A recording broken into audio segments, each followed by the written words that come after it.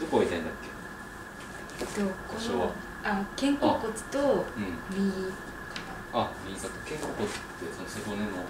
そうその上の方。ここら辺。あのそうです。あなるこっちの方ですほどあそしたらねちょっと一回上向きでいつ投げたんだっけ？おとといです。あ、おととい。あの、投げたってどういうこと？あのいいそうです。人が足らなくて、うん投げ。投げて返球してました。ああ、そうなの。ルをずっと。返球。あ、なるほど。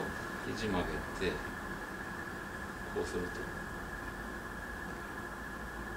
痛い。痛いっていうなんか圧がかかってる感じがします違和感違和感がある。なるあーこっちは痛いですほど。じゃあ、どの辺が？ここのああ、そこにピーンってくる感じ。あ、なるほど。これは？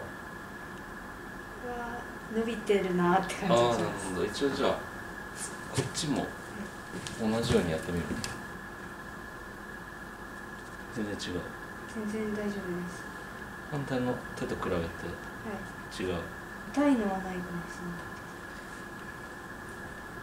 伸びてる感じもない？れない伸びてる感じがします。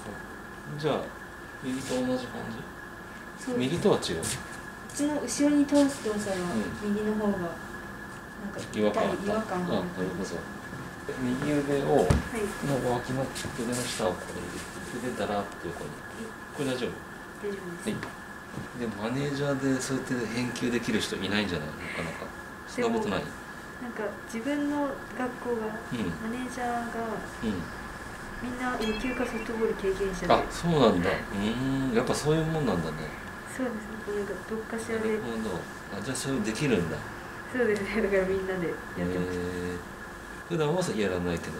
普段はそうですね。ちゃんとみんなでなんか走り回ってるんですけど。じゃあ結構な数投げた感じなりました。あのみんなのあれを投げたんで誰よりもああ送球してます、なるほど。え投げるってどういう距離を？えっと一塁からキャッチャーです、あ結構じゃないそれって。ちゃんと投げてました。一塁からキャッチャーって。本当だったらマネージャーでうカゴ持って一塁にいてんうん。たまったら走ってキャッチャーの方に戻してみたいな。そういう感じなんだ。なんですけどもその時マネージャーもうん。うん少なくってうん投げるしかなくて。もともとすごい自分肩の関節が鳴る人で、ああそうなんだ。でもはい。なんか痛めたことはあるの？そのやってた時ソフトボール。たまに痛いぐらいだったんであーあ別にもう肩腰をあれしちゃって投げられなくなっちゃったとかそういうことはないんだですねで投げてるとまたなんかやりたくなったりとかしない？めっちゃします。キャッチボールとか。その練習の合間にやらせてもらったりとかはしたことない？あありますありあます軽く。あキャッチボールしたり？キャッチボールしたりなんかバットで打ったり。背中ってうん。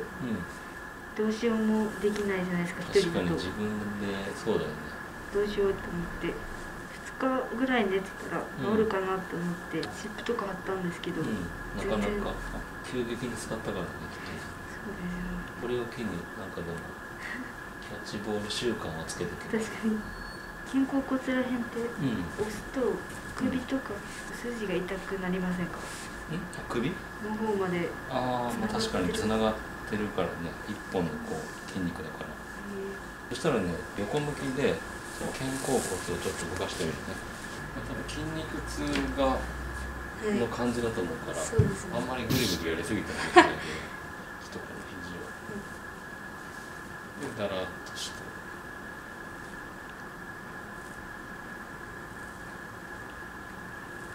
肩甲骨がなんか？筋肉痛っていうかあるんですか？その球を投げたりするときにはい。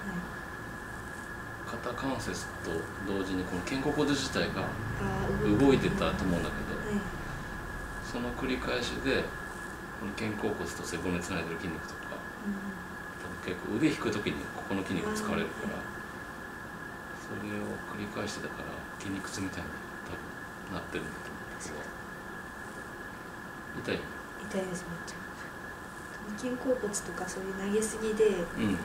痛くなったりしたらマッサージがやっぱり一番いいんですかね。そうまあでも基本的にはえ最初は休ませないといけないから、うんマッサージするよりも何もしない。使わないこと、うん、理想を言うとここって姿勢を維持するためだけでも使われちゃうからこうやって痛い方を上にして寝てた方が。で痛みが収まってきたら少しずつ動かしながら。その時にマッサージとかもマッサージとかストレッチとかを少しずつやってあげた方がなんか一昨日でまだその筋肉痛的な炎症が少しあるから。ちょっと軽いマッサージっていうか。疲労物質を流すみたいなイメージで。筋肉をゴリゴリマッサージするよりはこうやってちょっと軽めにこう動かしてあげるみたいな。そしたら今度上向きになります。なんか硬い感じするねちょっと、しますか？うん、この辺とか張ってるなって、体が、まあ、なまってたっていうことだと思うから毎日運動。そうだよ何か。せっか。くだか。ら触れてない感じですそう触れてない。触れてない感じ。触れてない感じってのもなんていうんだろ なんかたまに表現が面白い なんていうんですか。なんか怪我した時とか、うん。触れない部分ってあるじゃないですか。なんかどこ痛いって言われて。うん。そういう感覚ですね。え鈍くなってるってこあ鈍くなってるのかもしれない。とあ押されてもなんかあんまり痛くないのかもーしれない。首をこっちに傾ける。これどう痛い？痛いです。ちょっと肩って凝ってると痛いんですか？うーん。でもそのさっきのそのあれじゃないけど肩が凝ってる期間が長長くなるとなんかカチカチになって鈍くなっちゃうみたいな。すごい強く押しても全然痛くなかったり。でもなんか凝り始めみたいな感じだと逆にちょっと押されると痛いみたいうん。な感じの人もいるしこれ痛い結構。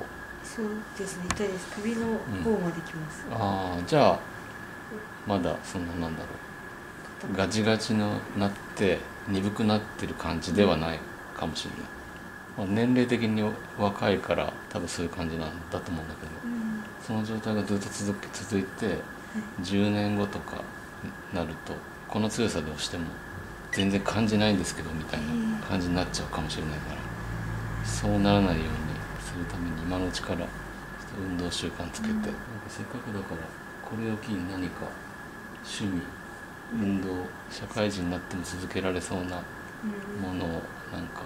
テニスやってみたいんですよね。ああテニスだったらレッスンあのレッスンではい申し込んで週1とかで。とはテニスバドミントンとか卓球とか。うん。正面向きますこの間母にヘッドスパやったんですよ。おおそしたら。でそしたらすっごい肩こりが治ったって言われて。あそれから毎日やってって言われてーて。えー、すごいね。さすがにそれはっつって逃げてます。まあ確かに家とかだとこういうベッドないからやりづらいんだよねやる方がそううんそうなんですよね。うん。ヘッドスパ極めれば副業できるかも。こっそり。確かに。でも結構肩こりに効くんだなって思いました、ああまあでも肩もちょっと押したりとかはして,し、してないしなかった？肩もしましたあとでも首を結構重点的にやったんですよ。ほあのあのススマホのうん。見過ぎの、どああスマホ首みたいな。そんな感じです。かなと思ってやったら、治ったって言ってくれて。ちょっと最後腕だけ回していきます。これ大丈夫？大丈夫です。ここがね、ゼロポジションって言って、120度、120度、ここ180度、120度。ここが肩甲骨の筋肉が全部緩むって言われてて、ここを通って投げると痛めないって言われてて、多分投げ方が上手い人はね、このこの角度を通ってる。へ肩が脱臼してる人もここに持ってくとね入るのポコンって。それゼロポジションってえでもなんか全然なんていうんですか。